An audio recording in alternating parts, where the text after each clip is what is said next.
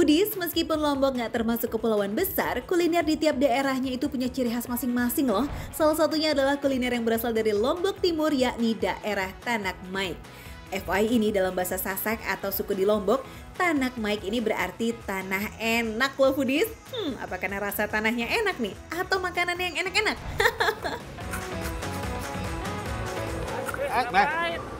Lah ini kan tanah mai, tanah yang enak.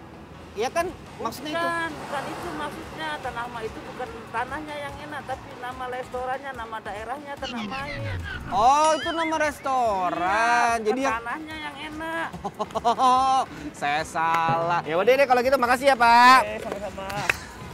Artinya memang tanah enak, tapi jangan dimakan beneran tuh tanahnya dong. Daerah ini terkenal karena kulinernya yang lazis-lazis foodies, makanya lesehan yang menyajikan menu khas tanah Maik ini bisa jadi destinasi yang kayaknya wajib buat dicobain. Assalamualaikum. Bu, ini yang dinamakan tanamai. Tapi tanamai itu artinya apa sih, Bu? Tuh, tadi bener. Tadi saya udah ngambil tanah, katanya enak. Oh, ternyata itu nama restorannya. Saya salah ya, Bu ya. Nah, ini spesialnya dari tanamai ini apa, Bu? Yang paling dicari Hmm. ikan bakarnya. Uh, ikan bakar foodies. Ikannya ada apa aja tuh? Ada ikan nila, Hmm. karper, gurami. Buat yang nggak tahu ikan karpar, cluenya nih ikan ini termasuk ikan tawar foodies. Ikan air tawar emang jadi olahan andalan di Tanak Maik. Letaknya yang berada jauh dari pesisir membuat kuliner Tanak Maik ini didominasi sama ikan-ikan air tawar seperti karper, nila, dan gurame. Tuh, wah ini gede banget ini. Pasti dagingnya bakalan banyak dan empuk. Tapi kalau dipikir-pikir ya foodies ya, kalau saya perhatiin ya, ikan kaper ini sebenarnya mirip sama ikan mas. Apa emang mereka jangan-jangan sama? Sama. Oh, cuman bahasa di sini adalah dapur. Oh, Beda warna aja. cuman beda warna. Kalau Oh, ikan masnya itu kan merah. ah, ah. Oke, Kalau ini Kalau ini biasa kita. ada warna hitam ya. Foodies, aku penasaran. Tapi boleh nggak Bu bantuin uh, Oke, silakan Mas, nanti untuk dipandu sama masnya aja ya. ya ikut ngebakar ya? Oke. Gimana yang penasaran sama ikan karper udah kejawab kan? Sebutan ikan mas dalam bahasa Sasak adalah ikan karper foodies. Sebelum dibakar, ikannya dimarinasi dulu nih foodies dengan bumbu khas tanak maik yang dicampur dengan minyak kelapa. Ini nih yang jadi ciri khasnya. Baru deh tuh ikannya dibakar dengan tusukan kayu yang diikat. Selain bakarnya lebih gampang, cara ini juga bikin daging ikan yang gak rontok ketika dibakar. Ah, mas, ini kan kayaknya asapnya udah mulai banyak banget nih. Udah kerasa banget panasnya. Gimana kalau misalnya saya tunggu aja di saung, mas lanjutin, nanti saya nikmatin makanannya ya. Oke, terima kasih udah ngajarin bakar ikan. Thank you mas. Sambil dibakar foodies, ikan karpernya harus diolesi sama bumbu lagi nih biar makin gurih dan makin endes. Nah kalau kedua sisinya udah matang, tinggal disajikan deh. Hmm, smells good. Foodies sekarang udah ready nih di meja makan dan memilih tempat di saung tanah mai ini supaya semakin menikmati makan ikan bakar. Waduh, sambil lihat ikan-ikan balong kalau kata Sundanya Maya itu tempat ikan. Karena udah ikutan bikin ikan bakar, jadi kayaknya yang pertama kali dicoba adalah ikan bakar karper. Kita cobain dulu sebelum dicocol sama sambal.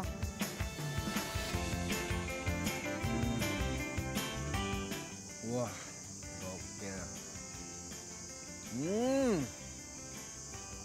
Enak banget dagingnya empuk. Ikannya masih fresh. Tuh. Dan bener kata si ibu tadi bilang kalau ikan karper ini lebih banyak dagingnya.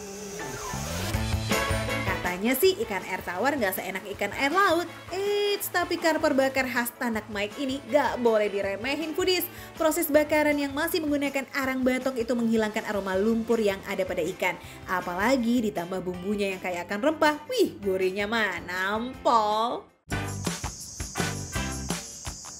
Oke, sekarang kita coba cocol pakai sambal tanamai.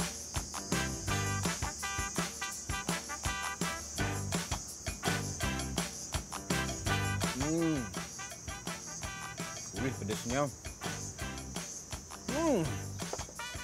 Wah, aku happy.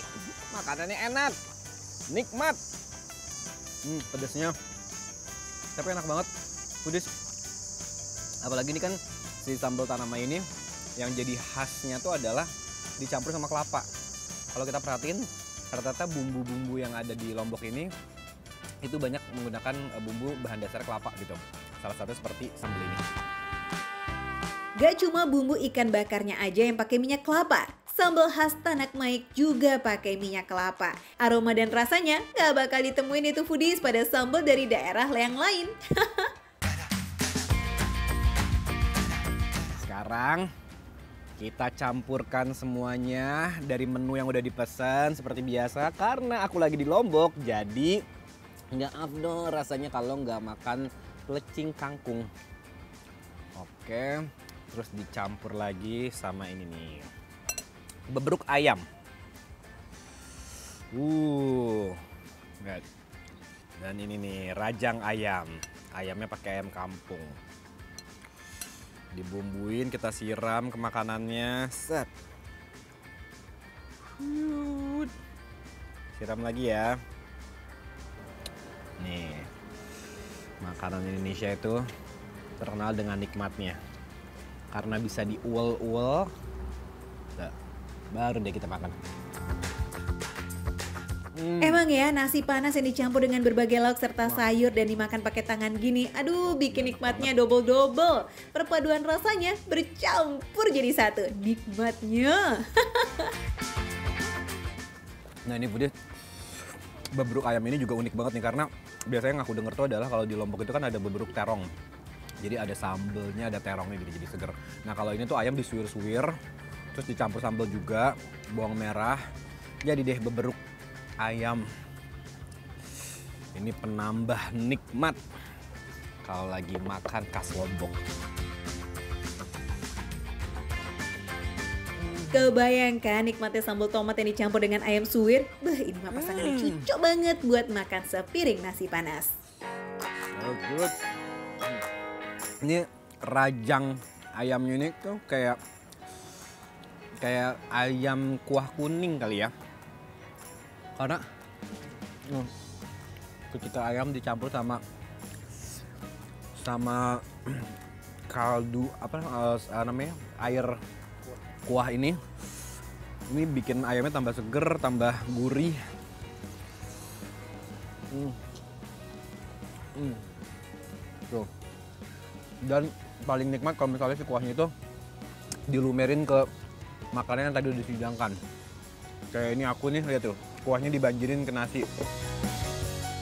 Nggak cuma olahan ikan dan sambalnya yang endes, rajang ayam dari Tanak Maik ini juga wajib buat dicobain. Mirip dengan kuah kuning, tapi tentunya dengan cita rasa khas Lombok ya, yang nggak ada duanya deh tuh. Mulai dari harga 40 ribu foodies, kita udah bisa nikmatin endesnya kuliner khas Lombok Timur ini. Apalagi disuguhin pemandangan asri dengan gemericik air, wah dijamin puas deh. Hmm, habis nih. Hmm, hmm, hmm. Wah, ini juara nih Pudis. Makanan khas Lombok itu emang enak banget dan kebetulan aku juga lagi di Lombok. Tapi aku akan tambah lagi pastinya. Maka tetap di makan receh, menu receh, tapi rasa nggak recehan. Tambah lagi.